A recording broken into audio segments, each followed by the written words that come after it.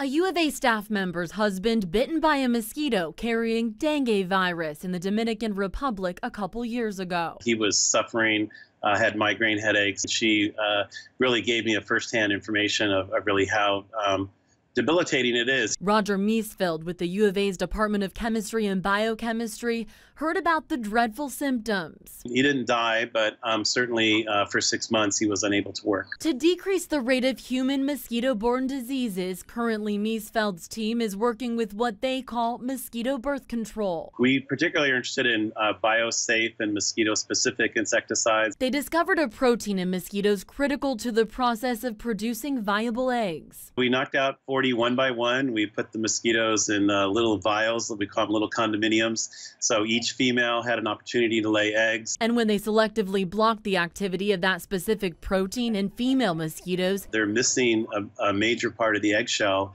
and none of the embryos survive. Miesfeld is hopeful this approach will reduce mosquito populations in areas of human disease transmission without harming beneficial insects like honeybees. No one likes mosquitoes. Uh, we have mosquitoes here in the United States, but they don't carry disease. But with climate change, uh, the pathogen uh, is, is, sneaky, and we may end up with uh, infected humans and mosquitoes um, certainly along the southern border. The team has filed a provisional patent on the discovery, which could eventually turn into an application that could be commercialized.